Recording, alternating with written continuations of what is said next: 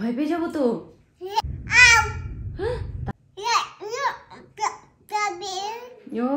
এটা ছোট হয়ে গেছে। এটা হচ্ছে ক্যানার পুলিশ ট্রেনিং সেন্টার। রাতে good morning welcome to our channel আশা করি আপনারা সবাই ভালো আছেন আমরাও ভালো আছি। আমার নতুন বন্ধু পুরনো বন্ধু যারা যারা ব্লগ দেখছে তাদেরকে অসংখ্য অসংখ্য ধন্যবাদ ব্লগ দেখার জন্য। আর আজ আমি বাইরে থেকে ব্লগ শুরু করছি।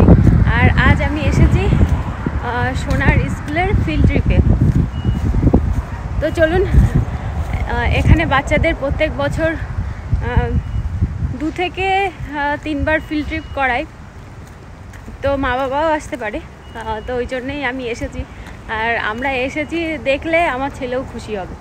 তো চলুন বন্ধুরা, নতুন একটা দিন, নতুন একটা ব্লগ আপনারা দেখতে থাকুন, আশা করি আপনাদের তো আমরা এখানে যাচ্ছি।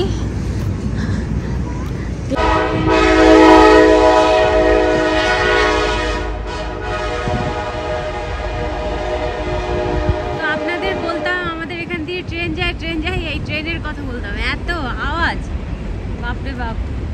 তো সোনাদের এখন মুভি দেখাচ্ছে তো ওখানে বাচ্চাদের যাওয়ার নিয়ম নেই ওই জন্য আমরা বাইরে চলে এসেছি। তাই তো? কত বড় টপ দেখ মারা গেছে। হ্যাঁ।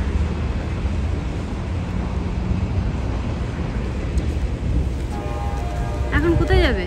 বসবো আমরা ঘুরবো না বেরোনো কতক্ষণ? আধা ঘণ্টা। আধা ঘণ্টা এখানে ঘুরবো কেন? এখানটা বসে এমন করে দেখো। তো এই জায়গাটা দেখুন কত সুন্দর। আর সোনার বাবা এখানে বসে আছে।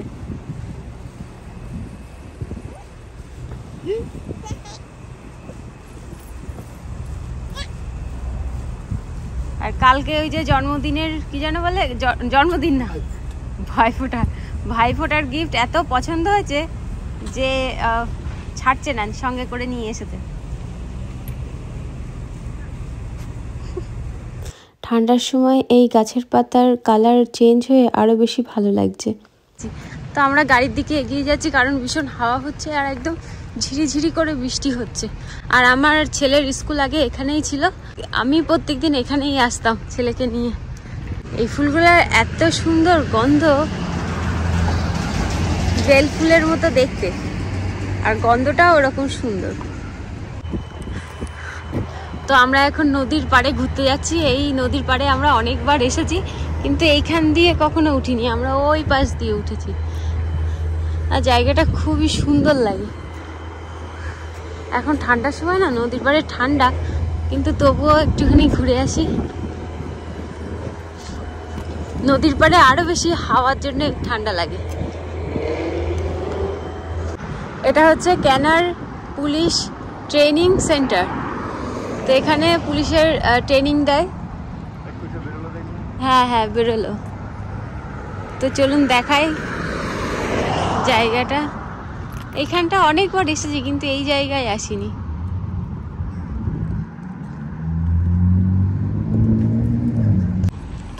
আর এই জায়গাটা না অনেক শুটিং হয়।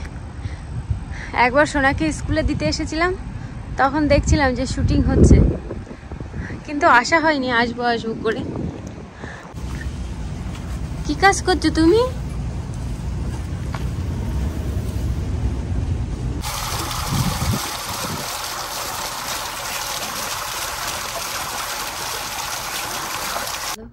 আমরা আবার ফিরে এসেছি এই ক্যানার এই প্ল্যানেটেরিয়ামের মধ্যে। এখানে অনেক কিছু আছে বাচ্চাদের জন্য। এখানে আছে টেলিস্কোপ আছে। আর এখানে আইনস্টাইন আছে। তো এনাকে দেখে তো আমি প্রথমে ভাবলাম যে একদম সত্যিকারের মানুষ, বাইরে থেকে মনে হচ্ছে একদম সত্যিকারের মানুষ একজন দাঁড়িয়ে আছে। তো দেখুন, বাইরে থেকে বোঝার উপায় নেই যে এটা একটা মূর্তি। আর এখানে বাচ্চাদের সব স্ন্যাক্সের ব্যাগ রাখা আছে। হাইটে ছোট হয়ে গেছে। তুমি কি স্পেসে যাচ্ছ?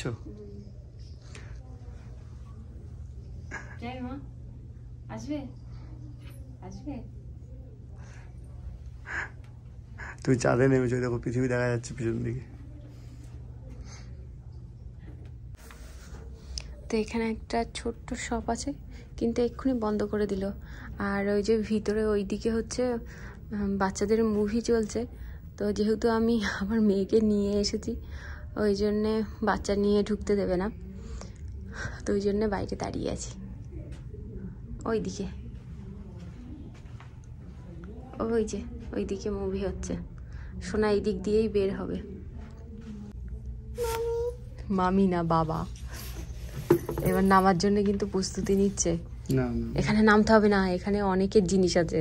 বাচ্চাদের মুভি দেখা শেষ হয়ে গেছে তো এখন এখান থেকে বেরিয়ে অন্য কোথাও যাবে তো সেখানে গিয়ে লাঞ্চ করবে। তো সবাই দেখুন লাইন দিয়ে বের হচ্ছে তো এখান থেকে লাইন দিয়ে সেইখানে যাবে। আর আমার ছেলে আমাদেরকে দেখতে পেয়েছে তো এদিকে এসেছে তো জিজ্ঞাসা করছে যে তোমরা কখন এসেছ? ভিতরে কেন যাওনি? তো আমি বলেছিলাম যে আমরা অনেকক্ষণ এসেছি, কিন্তু যেহেতু বুনুকে নিয়ে এসেছি, তো বুনুকে নিয়ে ভিতরে ঢুকতে দেয়নি। ওই জন্যেই আমরা ভিতরে যাইনি।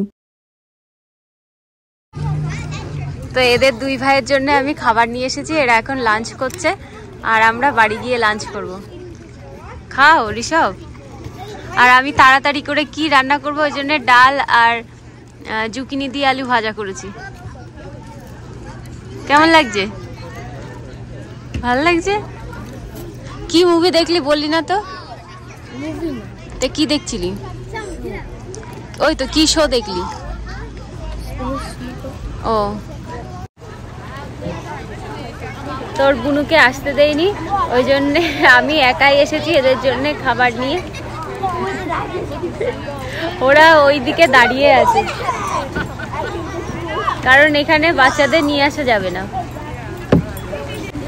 আর এখানে রিদেশ খাচ্ছে, উল্টো দিকে হচ্ছে ঋষভ খাচ্ছে। সকালবেলা তাড়াহুড়ো করে কি রান্না করব? ওই জন্যে তাড়াতাড়ি করে আমি ডাল আর জুকিনি আলু ভাজা করেছি। কেউ কেউ টেবিলে বসে লাঞ্চ করছে, আবার কেউ কেউ এরকম মাটিতে বসেও লাঞ্চ করছিল। আর যাদের লাঞ্চ করা হয়ে গেছে, তারা ওপাশে খেলা করছে। এখানে আসার পর জানতে পারলাম যে শুধু মা বাবাই আসতে পারবে ভাই বোনদেরকে নিয়ে আসা যাবে না। তো তখন আমি সোনার বাবাকে বলেছিলাম যে, আমাদেরকে বাড়ি দিয়ে এসো। এখান থেকে আমাদের বাড়ি বেশি দূর না, দু মিনিটও লাগে না। তো তখন সোনার বাবা বলছে যে, তুমি যাও, আমি মেয়েকে নিয়ে দাঁড়িয়ে আছি। তো আমি বললাম যে, তুমি এসো। তা আমি মেয়েকে নিয়ে দাঁড়াই। তা বলছে, না, তুমি যাও। তো এখানে দেখার অনেক কিছুই ছিল। আপনাদের সঙ্গে কিছুই শেয়ার করতে পারলাম না। যেটা মনে করে এসেছিলাম সেটা কিছুই হলো না। তো তারপরে টিচাররা সোনাকে স্কুল বাসে করে স্কুলে নিয়ে যাবে। আমরাও এখান থেকে বাড়ি চলে যাব। আর দূরে দাঁড়িয়ে দাঁড়িয়ে বাবা আর মেয়ে দেখছে। তো আমরা বাড়ি এসে গেছি। বাড়ি আসার পর সোনামাকে স্নান করিয়ে দিয়েছি। আর সোনামা এখন নম করবে। তাই তো, মা? এই তো নম করছে। আর আমাদের খাওয়া দাওয়া সবার কমপ্লিট হয়ে গেছে। আর বাইরের অবস্থাটা দেখায় এখন দেড়টা বাজে। তো আমরা এই তো একটার দিকে একটার আগে আমরা বাড়ি এসেছি। ওটা কি? ওটা কি তোমার হাতে? হাতি। তো বন্ধুরা আমি এখন যাচ্ছি বাচ্চাদেরকে স্কুল থেকে নিয়ে আসতে। আর আমার মেয়ে খেয়ে দিয়ে ঘুমাচ্ছে। আমি ওর পাশে ঘুমিয়ে পড়েছিলাম। তো অ্যালার্ম দিয়ে রেখেছিলাম যদি ঘুম থেকে না উঠতে পারি। তো চলুন ওদেরকে স্কুল থেকে নিয়ে আসি। কতক্ষণ আজকে আমি- কতক্ষণ আর লাগবে বাবা আসেনি আমি এসেছি। তো সোনাদের স্কুল থেকে তুললাম। প্রথমে ভাবছিলাম ওখানে যাব তারপরে এইখানেই এসেছি। এ পাশ দিয়ে যাও ওঠো ঋষভ।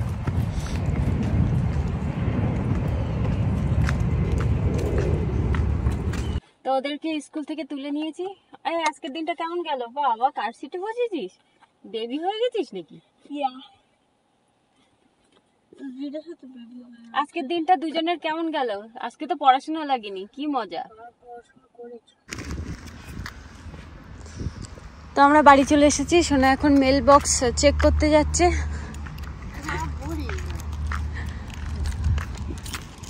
আমি চেক করতাম। কালকে চেক করা হয়নি। ওই দেখ কতগুলো মেল দিয়ে গেছে এটা বই নিয়ে আয়। অনেক দিন হয়ে গেল বাড়িতে পনির তৈরি করিনি তো ওই জন্যেই এখানে দুধ জাল দিয়ে এখন পনির তৈরি করব।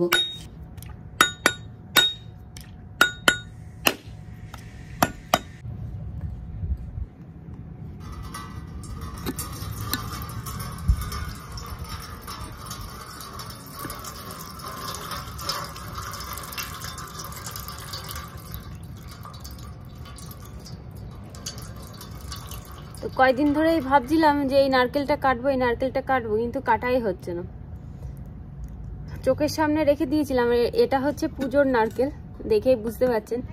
এটা আর ভগবানের ভোগ দেওয়া যাবে না। কি ভালো আছে কিনা সেটাই দেখতে হবে।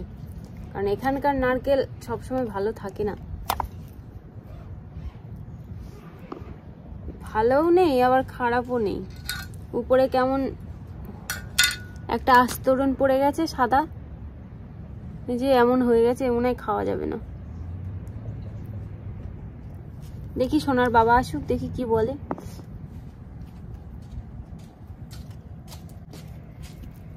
অনেকটা জল হয়েছে, কিন্তু জলের মধ্যে কেমন ঘোলা ঘোলা। তো এখন আমি ফল ছাড়াচ্ছি। তো সোনা বলছে ফল খাবে, ভাত খাবে না। কারণ যখন ফিল্ড ট্রিপে গেছিল, তখন তো ভাত নিয়ে গেছিলাম, তো বলছে খিদে পেয়ে গেছে। তো ওই জন্যেই ভগবানের প্রথমে ফল দিয়ে ভোগ দেব, তারপরেই বাচ্চাদের ফল দিয়ে দেবো। বাচ্চাদের মানে কি? আমার ছেলেরই ফল দেবো, কারণ আমার মেয়ে তো ঘুমাচ্ছে।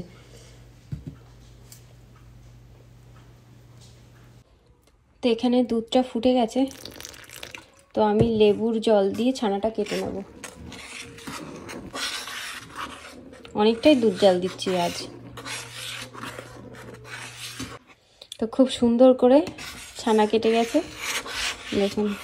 ছানাটা সাদা কাপড়ে আমি ছেঁকে নিচ্ছি। আর এই ছানাটা তৈরি করেছি কিন্তু আমি লেবুর জুস দিয়ে। বাজারে যে লেবুর জুস কিনতে পাওয়া যায় সেটা দিয়েই বানিয়েছি। লেবুর জুসটা অনেক দিন আগেই কেনা হয়েছিল। যখন আমার ছেলের জন্মদিন হয়েছিল তখন ব্যবহারই করা হয় না, তো ওই জন্য আজ ব্যবহার করলাম।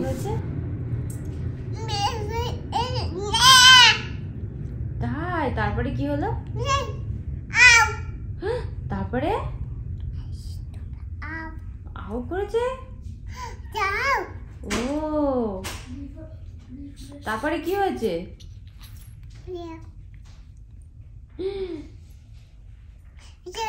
হ্যাঁ। তাই? ওরে বাবা ওরকম করছিল? ও হ্যাপি ও নো হ্যাঁ হ্যাঁ হ্যাপি হ্যাপি কি হয়েছে?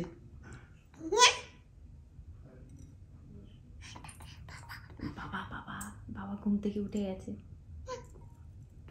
হ্যাঁ পড়ে গেছে? হ্যাঁ পড়ে গেছে। খুব দূর তু। পড়ে যাচ্ছে কেন? হ্যাঁ পড়ে গেছে। ও তাই?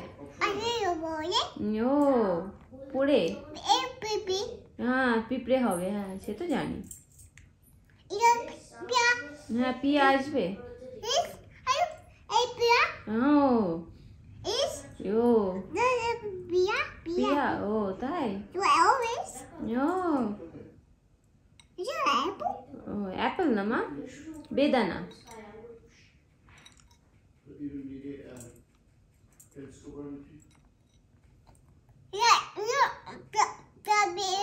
ও ভয় পেয়ে যাব তো। ও তারপরে তারপরে তারপরে?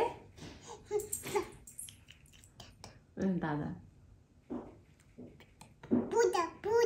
হ্যাঁ। হুম পিকাপু করছে দাদা? পিতাপু করছে দাদা?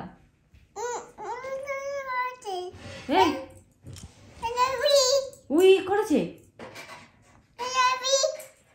তাই? তারপরে তারপরে?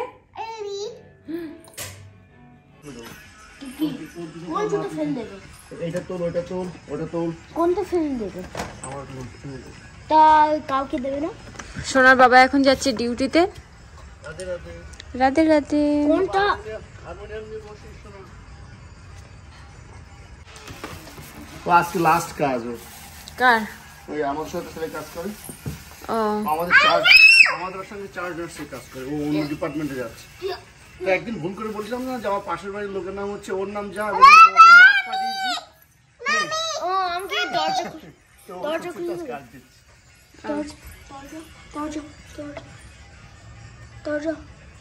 হাক্কা নুডলস বানাবো। নুডলসটা আমি আগে থেকে সিদ্ধ করে জল ঝরিয়ে রেখে দিয়েছি।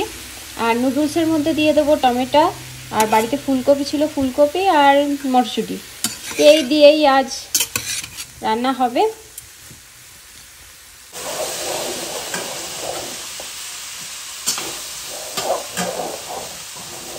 তো এখানে টমেটোটা সিদ্ধ হয়ে গেছে। ভাবছি এর মধ্যে একটুখানি পনির দেবো। পনির তৈরি করেছি। তো ভাবছিলাম কালকে পনিরটা রান্না করব। তো এর মধ্যে কিছুটা দিই। তো পনির তৈরি করার পর কেমন হয়েছে সেটা আপনাদের তো দেখানো হয়নি। এই দেখুন। হ্যাঁ। কি বলল আমিও বুঝতে পারলাম না। এই যে এরকম পনির তৈরি হয়ে গেছে। তো এর থেকে কিছুটা পনির আমি পাস্তার মধ্যে দেবো। নুডলস নুডলস নুডলসের মধ্যে দেবো। আর এই আঙুলটা আমার একটুখানি কেটে গেছে যেহেতু ঠান্ডার সময় কেটেছে এবার প্রচণ্ড ব্যথা হচ্ছে। শব্দ করে না। আর পনিরগুলো একদম ছোট ছোট করে বানিয়ে নিয়েছি একদম ছোট্ট ছোট্ট করে। এই রকম পনিরগুলো আমি দিয়ে দেবো ওর মধ্যে। কি? হ্যাঁ এবিসি। নুডলসের মধ্যে তোফু দিলে ভালো লাগে কিন্তু এ মাসে আমরা তোফু খাচ্ছি না ওই জন্য তোফু আর দেইনি। আর তোফু বাড়িতেও পারেন তো